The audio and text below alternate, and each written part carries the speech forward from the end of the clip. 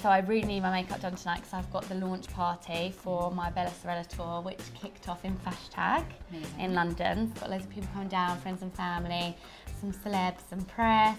So I need to look all glam and not sweaty. So you need to work your magic, Olivia. I will, no problem. Well, I think I'm going to start Yeah. on you with using, this is from Shu Uemura. Yeah. It's a UV based sort of mousse, and this is like using a primer, but it's a mousse, so it's really, really light. Okay. Some primers are quite moisturising and thick, and they kind of make you sweat more. So this, I always find as well that some primers have got like a bit of a shimmer in them. Yeah. And I don't like that look. I like it like matte and yeah, you don't like the sparkle. Some of them have like sparkle pigments. they in. do, don't they? I Um, find it quite hard to find one that doesn't. This one's it's just moussey, so it's like so light, helps keep your makeup on. Hmm. Has like a tiny bit of coverage in it, so some people like to wear it on its own. But Really? I think for me, I like. I mean, I'm a makeup artist. I love to wear like a foundation and Yeah. have everything looking flawless. Whereas some people, though, sort of wear this.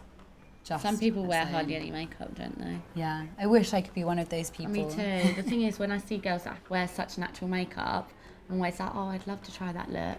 Yeah. And then I do try that look, and I feel like I look like I've just woke up. So here I've got MAC Studio Fix. Yes, Um, my favourite foundation. Yeah, it's a nice matte one. It is nice and matte, but I still feel like it does leave a little bit. Like sometimes you can see my freckles through it, which I quite like. Yeah, exactly. And I've got a mix of two shades here. Yeah. In case, especially sometimes it's nicer as well, a slightly dark one you can put in more areas that you want to be slightly more bronze. Yeah. Do you sometimes put like the lighter colours like, under the eyes and stuff? yeah, yeah. Mm. I've seen Kim Kardashian's like makeup tutorials, and they always like put light Yeah. foundation underneath your eyes and nose and stuff.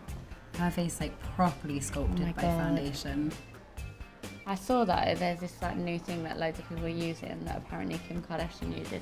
It's like a pink sponge from MAC. Have you seen it? Oh yeah, yeah, I've That- seen those. It looks a bit like a red nose, yeah, yeah, it's yeah. pink. Are they good? Have you used them? They are good, yeah. The only thing some people find with sponges is they can eat a lot of your product.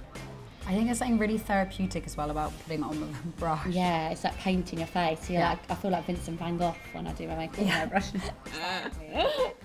I um I I'm just gonna take it down onto your neck a tiny bit, which is also good in the heat because sometimes your neck can go, you know, you get very flushed in your neck and chest, so it's good just to keep that A lot of people forget to do their necks as well, don't they? And then it never blends. Yeah, exactly. Because I've got quite like a red tinge to my skin, and sometimes if I don't do my neck, I have like Yeah. a perfect face and a red neck. Yeah, exactly. You need to sort of blend it down. Can you look up for me? Just gonna. How long you've been doing makeup, Olivia? I trained about four years ago um, at a place called Greasepaint. I train in all aspects of makeup and hair as well, but I am far more trained in makeup and experienced.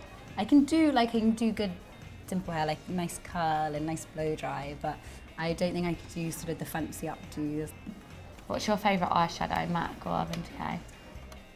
I prefer MAC because they're less glistening, like you can mix, but my MAC palette is like ones that I've collected. You can, like with MAC, you can collect them. Yeah, and then them you them- yeah.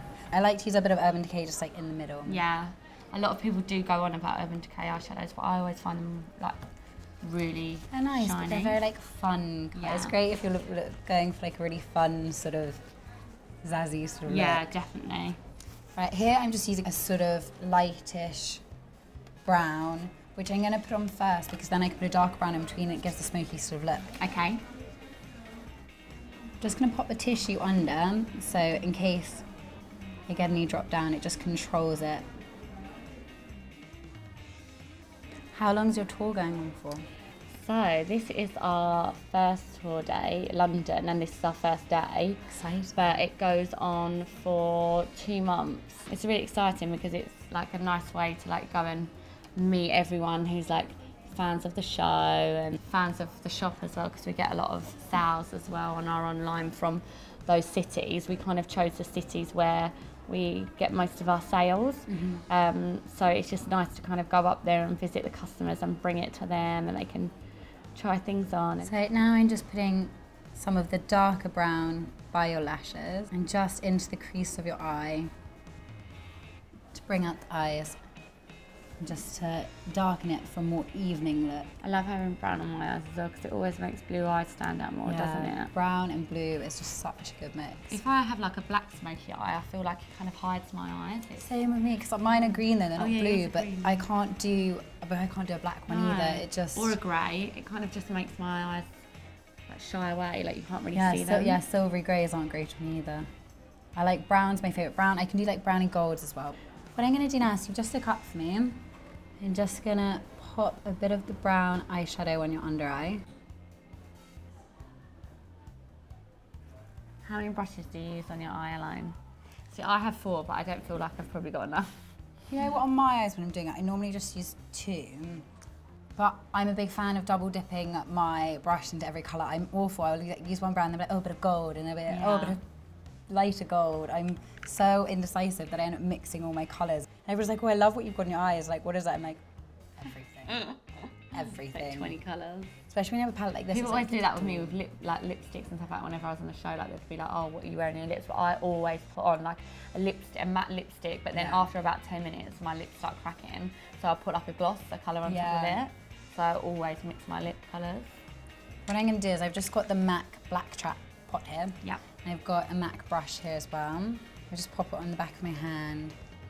See, I use this, but it mm. always dries out. Is this the gel? Yeah. Does yours never dry out? I think it's because when you have it, I think you're meant to put it on the table like that so it doesn't get lots of air to it. 'cause the, if you leave it for ages, lid off, lots of air is going to get to it and it's more likely Hardens to it. just open for me.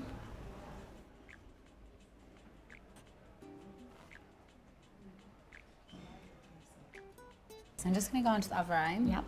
Doing a bit of liner. Really good tip for when people are doing liner is to do the main bit of your eye first. And if you're doing a flick out, step back, take a look at where you want the flick to go. So if Lydia opens her eyes for me now, I can see where I want to angle it out. And I can just flick it on the end. What would you say your favourite brand of makeup is? If you could only choose like one brand to buy all your products from. If I had to choose one brand to buy all my products from, probably go for Chanel. Really? I don't love all of their stuff, but I just love their foundations and mascaras. What foundation do you use? At the moment, I'm wearing the Vitalumière Aqua. It's um, water-based. It has like a little ball in it, so Oh, shake it up. But it's really light for summer because it doesn't have moisture in it. Yeah. It sort of, well, helps you to sweat less. Um, sometimes sweating can't be helped though. No, can't. See, I used to use Chanel foundation. I can't remember what one it's called, but it wasn't Vitalumière. I think it was Pro Lumière. Oh yeah, that one's the more matte one. Yeah, see, I use that, and that's supposed to be the more matte one. But I just felt like after like four hours, I felt like my face looked like I, it had water seeping out of it. it made my face go so shiny and oily. I think it depends on your skin type. If I get you to look up for me. Just popping a little bit of brown under the eye.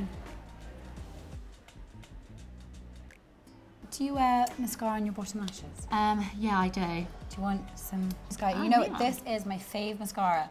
I used to always wear Chanel and Dior, which obviously is quite expensive. Yeah. And my mum introduced me to this over Christmas. My mum was like, I've read up on this mascara.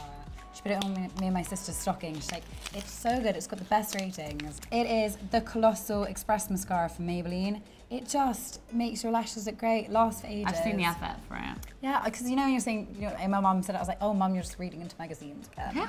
and then I was like, wow, actually, not too bad. Also, as well, when it dries out, a good tip is that you can put it under just a tiny drop of water and put it back in for the night, and then it sort of will give you like another two or three goes out of your mascara when it's really started to dry out. What, you've got water in the tube? And then, like, say the brush, just pop that under a drop, a drop on tap, shake it out, pop it back in, Oh, really? and then I think it just is basically just putting more moisture to the product that's left in there, so you can get like a few more, few more uses out of it. Mine never last that long, so I would lose them on nights out. Perfect. And then for I have for bronzer, which I really really like. This is a Chanel one. It's sort of like a mousse to powder. Oh my god, do you know what? Everyone, no, but everyone goes on about this and you can never buy it because all my friends are obsessed with Yeah, it. so good. Being from Essex, everyone always wears bronzer as well. It's almost like moussey, but you can like put your brush. It's not moussey, but like creamy. Put your brush oh, in. Oh, yeah. I bet it's so much easier to contour with as well because I always find that with um, like a bronzer as well, sometimes when I contour, like if it's not dark enough, I'll put more on and then it will go like a muddy look. Yeah, no, exactly. Now, Lydia, are you a blush fan or do you just like? no, I don't normally wear any any I actually think, seeing we've got pink on your lips and a dark eye, maybe blush is best to. Yeah, I don't normally ever So wear it. bronze. I normally just stick to like contoured cheeks. Sometimes I'll put like a coral on or like highlighter here, but I don't really ever wear pink. Yeah, so it's nice to have the bronze. Yeah, that's tan what I look. I'm not a huge blusher fan. No. I think it looks great on. I know what I think it looks amazing on really pale skin. You know, somebody's really pale and they've got Yeah. like a nice blush. I think that's stunning. This is snob. It's sort of fun, summery, slightly bubblegummy. But when you blend it, you can make it like a weaker color. It goes into like more of just a baby pink. You want your lips to look bigger, you can get a concealer. I've got Touche Éclat here, which has like a tiny bit of light reflecting particles. Just put it in the V of your lip. And in the bow, and that brings out that top bit of your lip more to make your lips look a bit bigger. Hopefully someone might kiss me tonight. Here I've just got the MAC Pro Longwear Concealer. They're really good because they have like foundation, just feather them over any blemishes and blend it in. And they're really long lasting. I have a little bit of Laura Mercier. This is like, it's translucent powder, so it has no colour to it. I've just got a little brush and just especially over T-zone, anywhere where you'll get shine. Just like your blotting powder. yeah, exactly. Blotting, it will keep the makeup on. Do you prefer that stop to the MAC one? I do actually, yeah. The MAC one's got more of a white colour, hasn't it, than this one? Yeah, this one, it just, as well, it's a bit lighter. so little, when you put it on, it isn't as powder, you know what I mean? Yeah. It doesn't look as powdery. Yeah, because I do think the MAC one's good if you like matte skin because it does matte you up a lot more, doesn't Yeah. it? Exactly. Cool, and we have Thank you. Thank look, you that's so all much. Olivia. Oh my gosh, it looks amazing. Thank you so much. I love what you've done with my eyes. I love this lip colour as well. I'm definitely going It's to buy it? It's really nice because yeah, it's in between like a pinky nude, isn't it? Yeah. It's not what it's I was quite like thinking. a fun colour as well. It's kind of fun. yeah. pinky. If I opened it up in there, I would never ever get it because quite it looks purple, looks doesn't scary, it? yeah. Oh, thank you. That's thank you so right. much, Olivia. You have to stay around for some bubbles. Definitely. Thank you so much for watching, guys. Let us know what products you like and what you use at home and what you want to try. And don't forget to comment and subscribe to Flash Tag. Thank you, guys. Thanks, guys. Bye.